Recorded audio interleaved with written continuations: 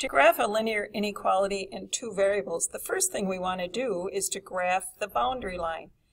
This can be done by graphing it by its intercepts, as we will take a look here.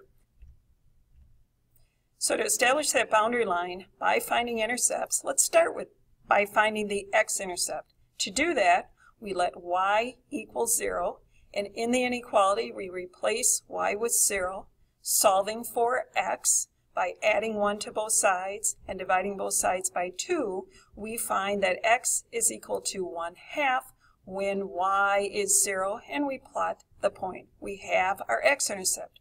Moving on then to find the y-intercept, we let x equal 0, replacing x with 0 in our equation and simplifying leaves us with y equal negative 1. Point-wise, we would have the coordinate 0, negative 1, which is plotted there.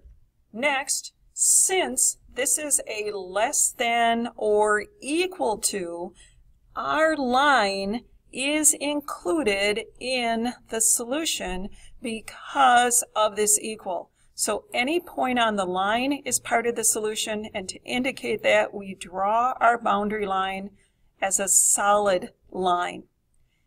Next then, we need to determine which half of the plane provides the solutions to this inequality, the points that will make a true statement.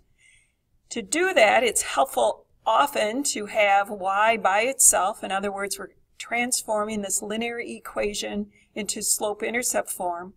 And we're looking for y values that are less than this line. So here's our boundary line.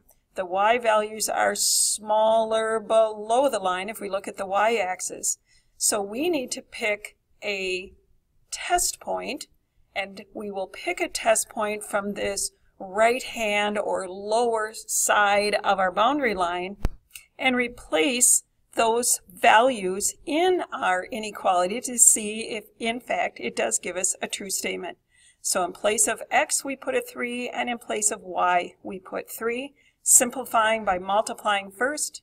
Simplifying on the left, 3 minus 6 leaves a negative 3, which is less than or equal to negative 1. Because it is evidence that we have a true statement, we will shade the right side indicating all points to the right of our boundary line, including the boundary line, provide an infinite number of points that satisfy this linear inequality.